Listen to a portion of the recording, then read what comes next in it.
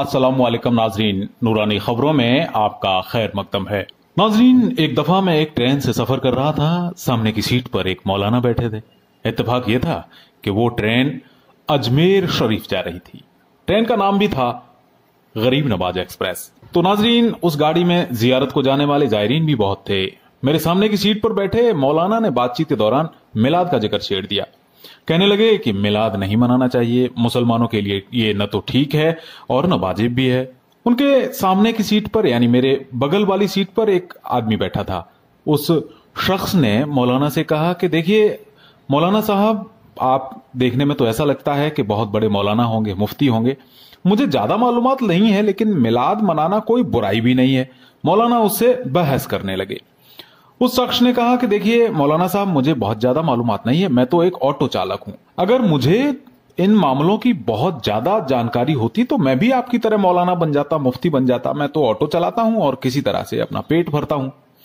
لیکن ناظرین، اس بیچ سامنے کی سیٹ پر مولانا کے بالکل برابر میں ایک شخص بیٹھا تھا اور اس مسافر نے ماتھے پر اپنے تلک لگایا ہوا تھا۔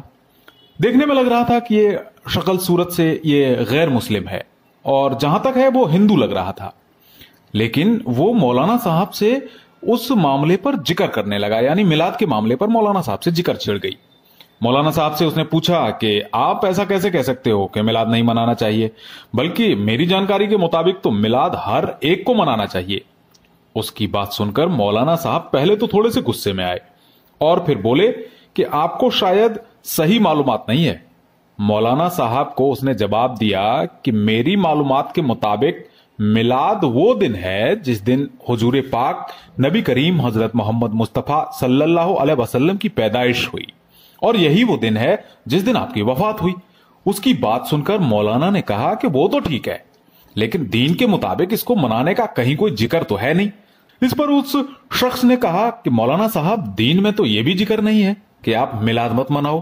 اس مسافر نے کہا کہ جس نے دنیا کو نیک عمل پر چلنے کی توفیق دی، اس کی وجہ سے آج بیٹیاں محفوظ ہیں۔ نہیں تو انہیں زندہ دفن کر دیا جاتا تھا۔ ان بیٹیوں کو میلاد منانا چاہیے۔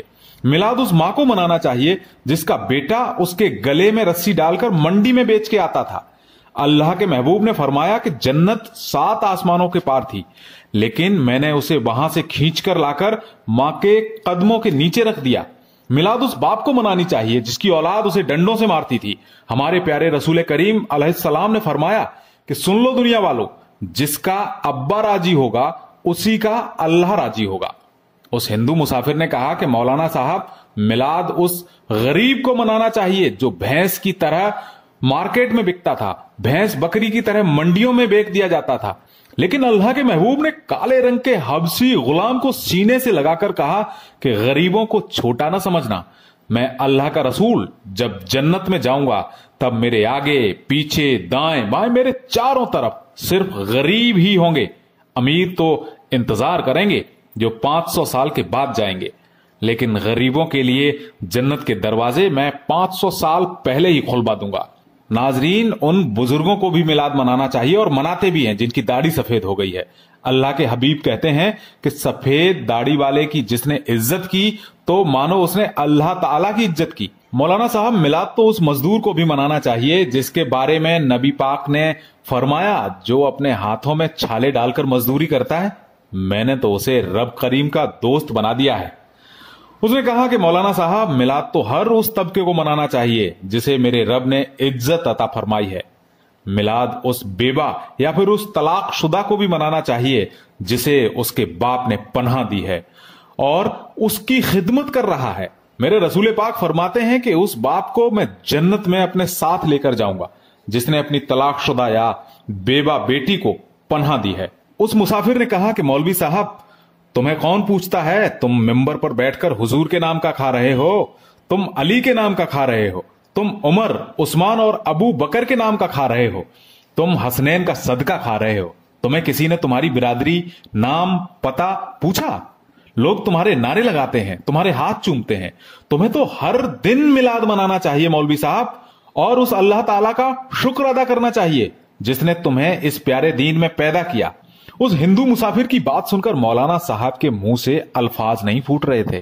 اب شاید انہیں اپنی غلطی کا احساس ہونے لگا تھا۔ اور ناظرین، یہ بحث اتنی چور سے ہو رہی تھی، اتنی زور زور میں ہو رہی تھی کہ پورے کمپارٹمنٹ کے لوگ اکٹھے ہو گئے۔ وہاں بڑی بھیڑ جمع ہو گئی۔